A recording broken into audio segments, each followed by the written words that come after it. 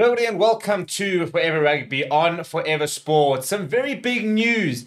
SA Rugby are set to meet on the 17th of October to make a final decision on whether or not they will accept a proposed deal on private equity investment, which will see SA Rugby sell a portion of um, the Springbok sort of commercial side of things uh, to a private equity firm uh, as and uh, as a way to sort of uh, raise money and uh, get a big investment into the Springbok brand. This is not something new. We've known for a while that American corporation um, is, uh, or, or, American, a couple of different ones are, are looking at potentially investing in SA Rugby. And uh, apparently now a special general council meeting will take place where all the different members and unions and stuff will vote on the decision whether or not this will go through.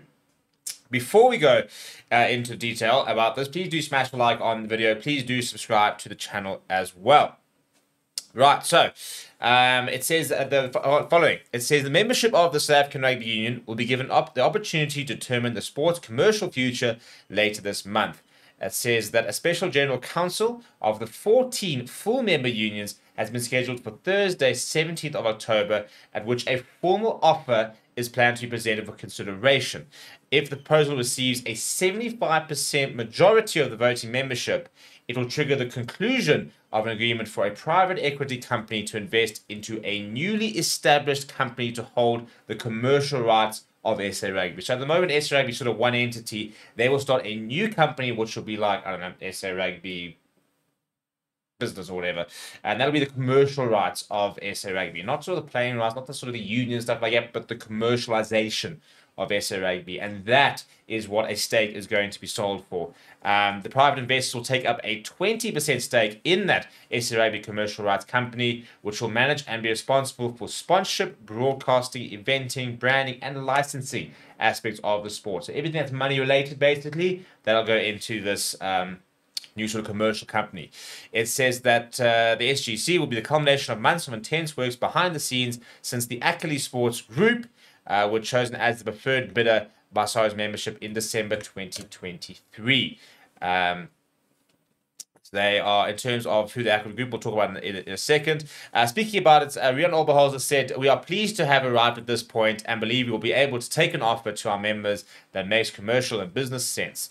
This is a watershed moment for rugby in South Africa as we attempt to globalize the Springbok brand in the way that our peers in New Zealand have.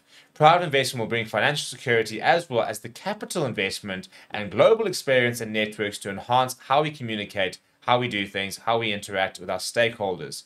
Uh, apparently, there have been a bunch of information sessions, for example, so people understand it, and this is going to be sort of the final moment. He says that private investment has taken place in several of our member unions and is commonplace in global sport.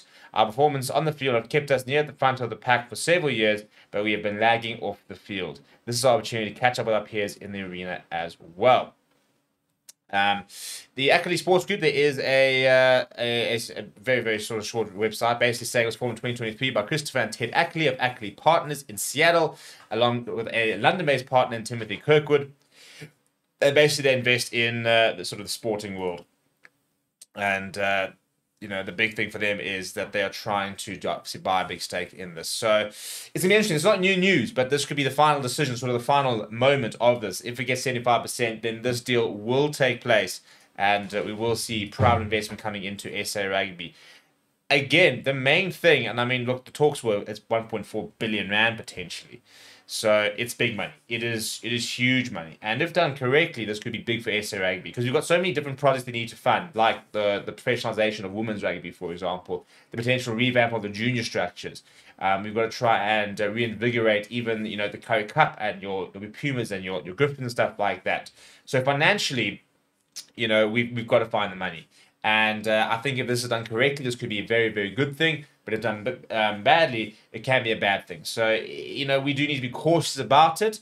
But overall, a a, a, proper, um, you know, professional environment requires requires investment.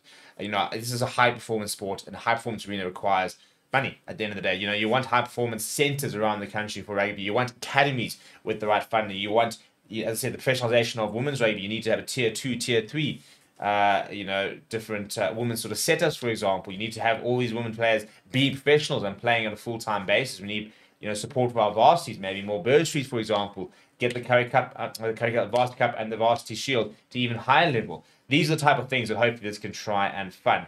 Are you in on the idea or are you a bit skeptical? Let me know down in the comments below. Smash a like on the video, subscribe to the channel as well. Thank you very much for uh, watching. My name is Steve. I'll chat to you soon.